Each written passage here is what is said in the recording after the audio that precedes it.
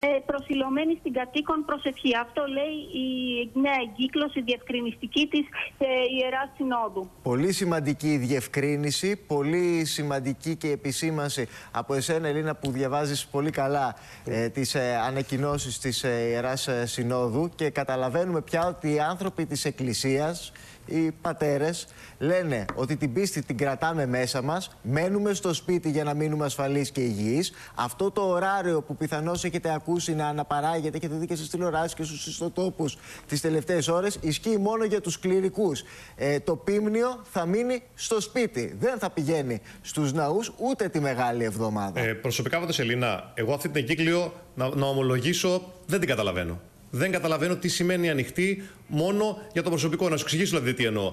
Η, η, η, η θεία λειτουργία της ημέρας της Μεγάλης Εβδομάδας είναι πολλές ώρες. Θα γίνεται και θα μεταδίδεται και από τηλεόραση και θα μεταδίδεται και διαδικτυακά. Θα είναι μέσα οι, ε, οι, οι ιερείς ε, και το υπόλοιπο προσωπικό. Έτσι κι αλλιώς θα ήταν μέσα. Άρα, τι σημαίνει δύο ώρες είναι ανοιχτή; Ή ανοιχτή είναι εκκλησία ή κλειστή. Αυτή η διευκρινιστική εκκλησία, συγγνώμη, δεν μου λέει τίποτα εμένα προσωπικά. Δεν την καταλαβαίνω τουλάχιστον. Εκτός κι αν κάτι χάνω σε αυτή τη διαδικασία.